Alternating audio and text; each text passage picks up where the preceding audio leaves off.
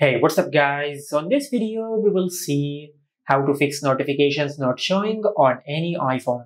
Now to fix this issue, first of all, just swipe down from the top right of the screen and open the control center. From here, just tap and hold on the focus mode. Now if do not disturb mode or any other focus mode is enabled on your iPhone, just tap on it and turn it off. After you do that, then go to your home screen and open settings. From here, just tap on notifications.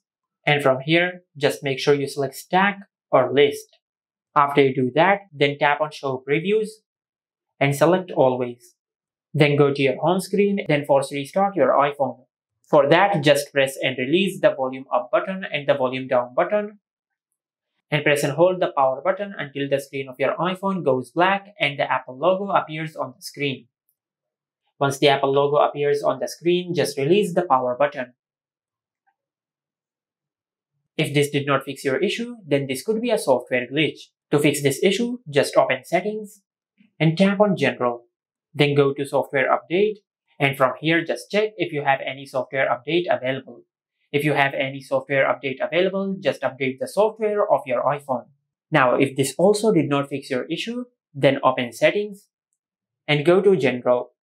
From here, you will find the option of transfer or reset iPhone. Just tap on it, then tap on reset. Now from this pop-up menu, just select reset network settings.